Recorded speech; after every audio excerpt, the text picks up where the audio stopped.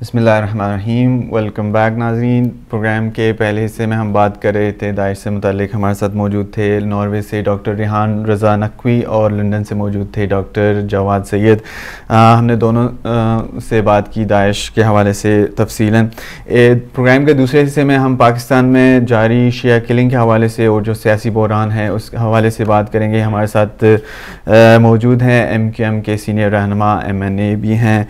हैदर अब्बास रिजवी साहब, हम उनको खुश आमदीद कहते हैं और उनका शुक्रिया भी अदा करते हैं कि उन्होंने हमारे लिए टाइम निकाला।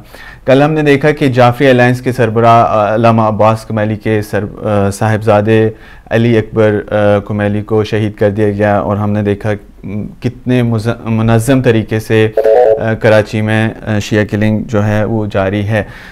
इसके अलावा हम दूसरी तरफ़ देखते हैं तो कलंदन तंजीमें जिनके बारे में हमने कई दफ़ा प्रोग्राम किए, वो इसी तरह से फ़ाल हैं और अपने ऑपरेशंस जारी रखे हुए हैं। मैं सबसे पहले हैदर अब्बास रिजवी साहब का शुक्रिया अदा करता हूँ, उनसे ये पूछता हूँ कि जिस तरह हमने देखा कि अल्ताफ़ हुसैन जो आपके एम के एम के लीडर हैं, उन्होंने एक बयान दिया है कि कराची में अगर कलदम तंजीमों के ख़िलाफ़ कार्रवाई होती तो आज ये ये ये वाक़ात ना होते। आप क्या कहते हैं इस पर? देखिए, मेरे ख्याल से सच्चाई भी बिल्कुल उसी तरीके से ही है कि कराची में एक टारगेटेड ऑपरेशन गुजशत एक बरस से जारी। और जो टारगेटेड एक्शन कर रहे हैं खासतौर पर जो पाकिस्तान रेंजेस है जब हमारी उससे मीटिंग होती रही तो हम उनको मुसलसल ये बताते रहे क्योंकि कराची की जो लॉ एंड ऑर्डर सिचुएशन है वो यूनिफोल्ड नहीं है बल्कि मल्टाई फोल्ड है। और शायद सियासी एंगल उसका एक छोटा एंगल ज़रूर हो मगर जो सिचुएशन है और जो असल सिचुएशन है वो यहाँ पर कराची में मौजूद एक बड़ी तादाद में तालिबान और तालिबान के जो दीगर ऑफ़ है जिसमें कलजम तंजीम है जिनको पाकिस्तान सुप्रीम कोर्ट ने कलजम डिक्लेयर किया हुआ है और उनको बैन आउटपुट डिक्लेयर किया गया है हम्म। और जो बुनियादी तौर पर उन तमाम किलिंग्स में इन्वॉल्व हैं जिसमें हम्म। मसलक का नाम लेकर लोगों को शहीद किया जाता है उनको होल्ड करना उनको काबू में लाना और नाम बदलकर और शख्सियात अगर वही हो। यानी कल जिस बैन आउटफिट को नाम एक बैन आउटफिट का सिर्फ़ नाम ऐसा लगता है कि बैन हुआ दूसरे नाम से वही काम कर रहे हैं उनके जो रहनुमा हैं उनके जो लीडर्स हैं वो टीवी पर आकर प्रेस कॉन्फ्रेंसेस कर रहे हैं पुलिस के कागजों में उनकी तलाश जारी है और वो टीवी पर आकर लोगों को इंटरव्यूज़ दे रहे हैं टॉक शोज़ में बैठ रहे हैं। तो ये डबल स्टैंडर्ड है ज़ाहिर है कि कराची में तालिबान जब से ताकतवर हुए हैं उसके साथ साथ बैन आउटफिट्स भी ताकतवर हुई हैं। चाहे वो झंडी हो सिपा नाम से हो या दीगर किसी जिंदुल्ला या किसी भी नाम से हो नाम बदलकर काम करने वाली ये ऑर्गेनाइजेशन जो है ठीक। इनके खिलाफ बाकायदा कोई मरबूत कार्रवाई जब तक नहीं होगी जब तक पाकिस्तान की ताकतवर इंटेलिजेंस एजेंसी लॉ इन्फोर्सिंग इदारे रेंजर्स पुलिस जब तक इन लोगों को फरार वाकई गिरफ़्तार करके सजा नहीं देंगे। सूरत यही होगी जब हमने ये बात की कि कार्यकारी जनाब हुसैन ने खसूसी तौर पर कि कराची में एक बहुत बड़ी तादाद में तालिबान आबाद किए गए हैं। तो तुम लोगों ने हमारा बहुत मज़ाक उड़ाया था और कहा था कराची में कोई तालिबान नहीं खुद हम्म, हम्म। मौजूदा वज़ीर अला सिंध कायम अली शाह और उस वक्त के वज़ीर दाखिला जुल्फकार मिर्ज़ा और पता नहीं कौन कौन हर सतह पर हमारा मज़ाक उड़ाया गया और हमें संजीदा नहीं दिया गया मगर आज आप देखते हैं कि खुद न सिर्फ़ पाकिस्तान के तमाम इदारे बल्कि तमाम ही मीडिया चैनल्स और पाकिस्तान के सो कॉल्ड दानिश्वर इस बात का मुतफक है कि कराची में एक बहुत बड़ी तादाद में तालिबान की आबादकारी बाकायदा करवाई गई है। इस उनकी मौजूदगी का फ़ायदा वो तमाम बैन आउटपुट उठाते हैं जो पूरे पाकिस्तान में ऑपरेट कर रहे हैं और उस जो बैकअप सपोर्ट फाइनेंशियल सपोर्ट और उनको दीगर लॉजिस्टिक सपोर्ट तालिबान से मिल रही है और ज़ाहिर है कि इसमें बैरून मुल्क से भी एक बहुत बड़ी तादाद में उनकी माली मदद की जाती है। अभी तक हमारे पास तस्वुर यही है कि पाकिस्तान से जो बैरून मुल्क जो पैसा जाता है उसको हम मनी लॉन्ड्रिंग ज़रूर तस्वुर करते हैं। मगर जो इलीगल पैसा पाकिस्तान में आ रहा है जो दुनिया के दीगर ममालिक से इलीगली पाकिस्तान में आ रहा है और इन बैन आउटपुट्स की न सिर्फ़ परवरिश की जा रही है फाइनेंशियल सपोर्ट की जा रही है इनके नाम नेहाद मदरसे कायम है जिसमें हज़ारों लोग जो हैं वो गैर मुकामी आबाद हैं और वो उनकी बोर्डिंग एंड लॉजिंग को फैसिलिटेट किया जा रहा है। सिर्फ़ कराची में इस वक्त तीन हज़ार से ज़्यादा गैर कानूनी मदारिस मौजूद है। वहाँ क्या हो रहा है? कौन लोग आबाद हैं? किस तरीके से रह रहे हैं? उनके क्या अजाइन है? किस तरीके से वो ऑपरेट कर रहे हैं? फाइनेंसिस कहाँ से आ रहे हैं? हम्म, हम्म। ये सारी चीज़ें जो है फेडरल लेवल के ऊपर और प्रोविंशियल लेवल के ऊपर देखने की ज़रूरत है मगर बड़ी बदनसीबी है कि अभी तक नहीं देखी। अच्छा ये आ, इतने अरसे से हम देखते हैं कि कराची में जो टारगेटेड ऑपरेशन जारी है रेंजर्स की तरफ़ से आप क्या समझते हैं कि ये इतना फ्रूटफुल नहीं रहा जिसकी वजह से ये कार्रवाइयाँ जारी हैं? और दूसरा सवाल ये है कि बाज़ हल्के ये कहते हैं जैसे एम का ये मौक़ है कि कराची में अभी फ़ौज ऑपरेशन करे। आप इस हक में हैं कि कराची में फौज ऑपरेशन करे या जो टारगेटेड ऑपरेशन जारी है रेंजर्स की तरफ़ से वो ठीक है? देखिए एनसीएम में तो ज़ाहिर है कि आपको याद होगा कि जब इस इंटेलिजेंस ओरिएंटेड टारगेट एक्शन को इनवाइट किया था हम्म, हम्म। तो कार्यकारी जनाब अल्ताफ हुसैन ने बड़े वाशिराफ अल्फाज में कहा था कि हम फौज पर मुकम्मल भरोसा करते हैं।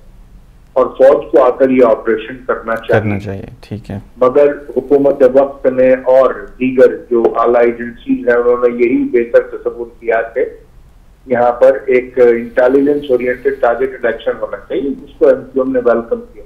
ठीक। मगर हमने सूरत को उस वक्त भी बताया था क्योंकि कराची और पूरा जो अर्बन स्ट्रेंथ है एमक्यूएम। के पास गुजशत तीस सालों से उसका मुकम्मल मैंडेट मौजूद है।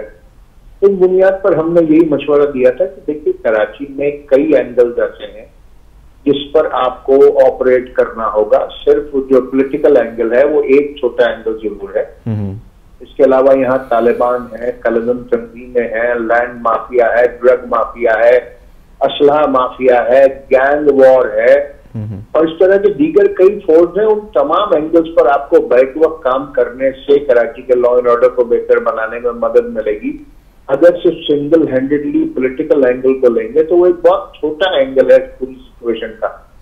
मगर शायद एक बार फिर जिस तरीके से एक वतीरा है कि एमपीएम की बात को संजीदा नहीं लिया जाता शायद संजीदा नहीं लिया गया और जो डिजायर्ड रिज़ल्ट से उस पूरी एक एक्सरसाइज के कि जिसको एक साल हो गया वो डिजायर्ड रिज़ल्ट हासिल नहीं हो रहे और जिस तरीके से कराची में बाकायदा मसल के तशैय को स्पेशली और दीगर मसाले को अमूमी तौर पर टारगेट किया जा रहा है। ठीक है। और जिस तरीके से doctors engineers lawyers professor media person और जिस तरह उनको शहीद किया जा रहा है अगर आप देखें तो पूरे पाकिस्तान में दहशतगर्दी की इन वारदातों में जो दीगर पाकिस्तान में हो रही है और कराची में जो हो रही तो बड़ा वादे तौर पर आपको फ़र्क नज़र आएगा कि जो जिस तरीके से ये दहशतगर्द तंजीमें मुल्क के दीगर हिस्सों में ऑपरेट कर रही हैं वहाँ पे बड़े बॉम्ब ब्लास्ट हो रहे हैं। हम्म। और उसमें हमारे न सिर्फ़ तमाम मसाले के भाई चाहे जिसमें देवबंदी हो हनफी हो बरेलवी हो अलहदीस हो यहाँ तक कि गैर मुस्लिम तक को मारा जा रहा है। उसमें क्रिश्चियन एक बहुत बड़ी तादाद में है। हिंदू और सिख एक बहुत बड़ी तादाद में मगर कराची में जिस तरीके से टारगेट कर रहे हैं ऐसा लगता है कि जैसे कराची में ये टारगेटेड चलेंगे उसमें इंटेलिजेंशिया को टारगेट किया जा रहा है। जो उस मुल्क के पढ़े लिखे लोग हैं और ज़ाहिर है कि उसका जो सोर्स है उसका जो मम्बा है वो हम्म। कराची है और कराची में उनको टारगेट करके मारा जा रहा है।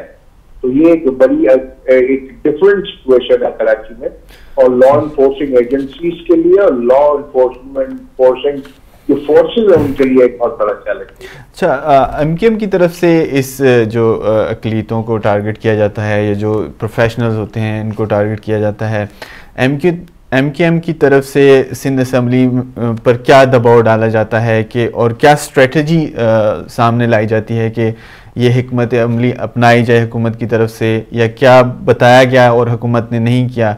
आ, उस बारे में थोड़ा सा बता दें हमें। मेरे ख्याल से इसमें जितना वाज रोल एम क्यू एम का है शायद ही किसी और पोलिटिकल पार्टी का हो। हम्म, हम्म। शायद तहरीक जनाब अल्ताफ हुसैन की पैंतीस साल की मेहनत है कि जिसकी बुनियाद पर खसूस कराची में सिंध में और बाकी मालदा पाकिस्तान में आपको फिरका वारियत दिखाई नहीं देती। खुदा खासा पाकिस्तान में बिलूम और कराची में बिलखसूस कोई ऐसी सूरत हाल नहीं है कि शिया और सुन्नी एक दूसरे से मुतद किसी जमाने में एटीज में शायद कभी ऐसा हुआ हो। उसके बाद अल्ताफ भाई की शबाना रोज मेहनत और एम क्यू एम की अनथक जिद्दोजहद की बाइश अलहमदुल्ला कराची में तो कोई इम्कान भी नहीं है कि ऐसी सूरत हाल कभी कोई डेवलप हो सकती है।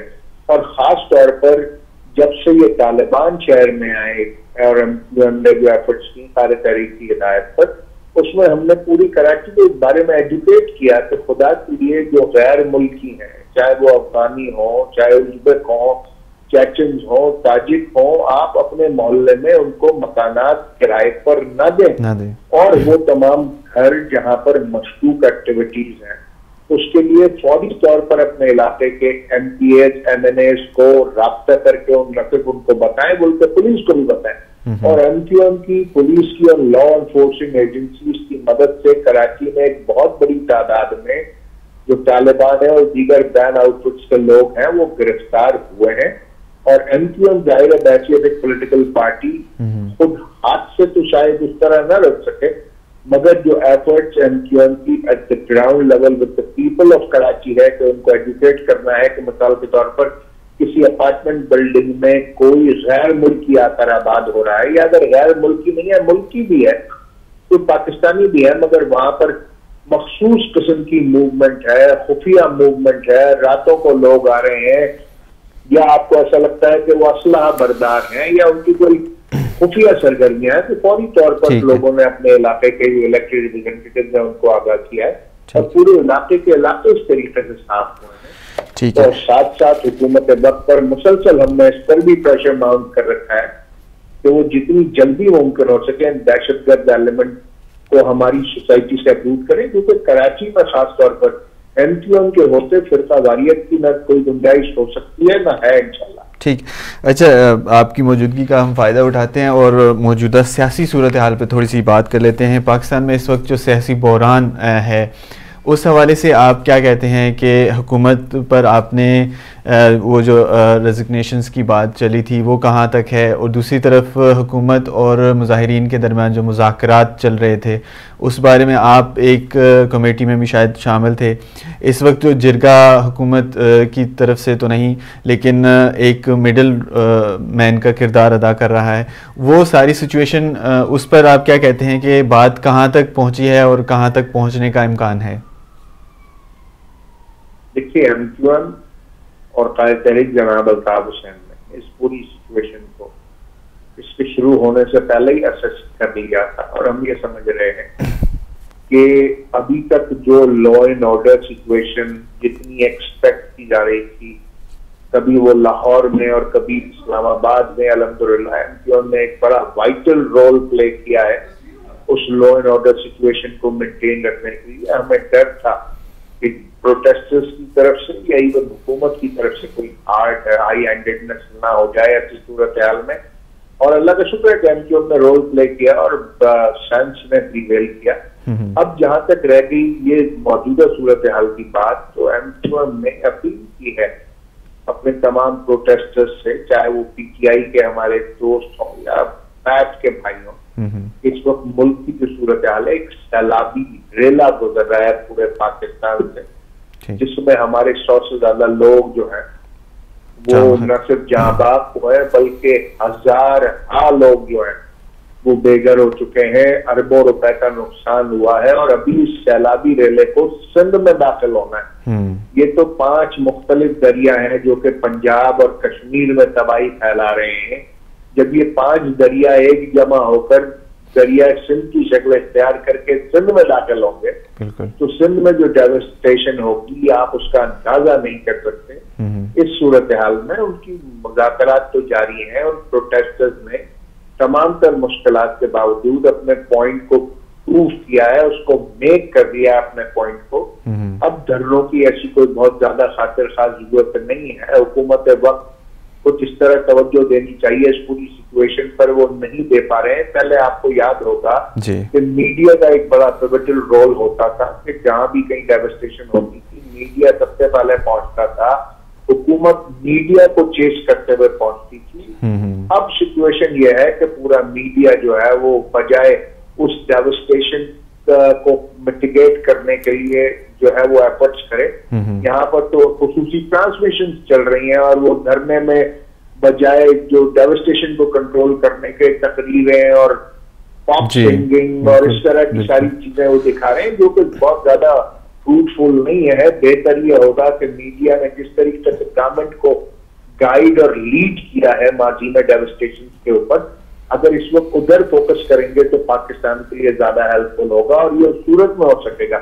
जब हमारे पॉलिटिकल कायदीन और खासतौर पर वो तमाम लोग जो कि धरने को लीड कर रहे हैं इस्लामाबाद में और उसको वहाँ पर मौजूद हुए भी आज मेरे ख्याल से चौबीसवा या तेईसवा रोज है तीन हफ़्ते से ज़्यादा गुजार चुके हैं। They are made the point और रेडी तो इसलिए उनको चाहिए कि वो कम अज कम आर्जी तौर पर ही उसको कॉल ऑफ़ करें और जब ये सिचुएशन कंट्रोल हो तो they can always come back ठीक है but right now the situation है the country is facing that huge devastation and there's another devastation is expected in the area of Sindh. Mm-hmm. तो उसको फोर्सी करते हुए kindly थोड़ा सा अगर चीज़ों को प्रॉपरली अरेंज कर लेंगे तो ज़्यादा ज़्यादा बेहतर अच्छा पिछले हफ़्ते हमने देखा कि पार्लियामेंट का मुश्तरक इजलास हुआ जिसमें धुआंधार तकरीरें हुई आ, आप क्या समझते हैं वो आ, वो सेशंस कितने मुफीद साबित हु, हुए होंगे इस सियासी बहरान को हल करने के लिए या मज़ीद उन्होंने खराबियाँ पैदा की हैं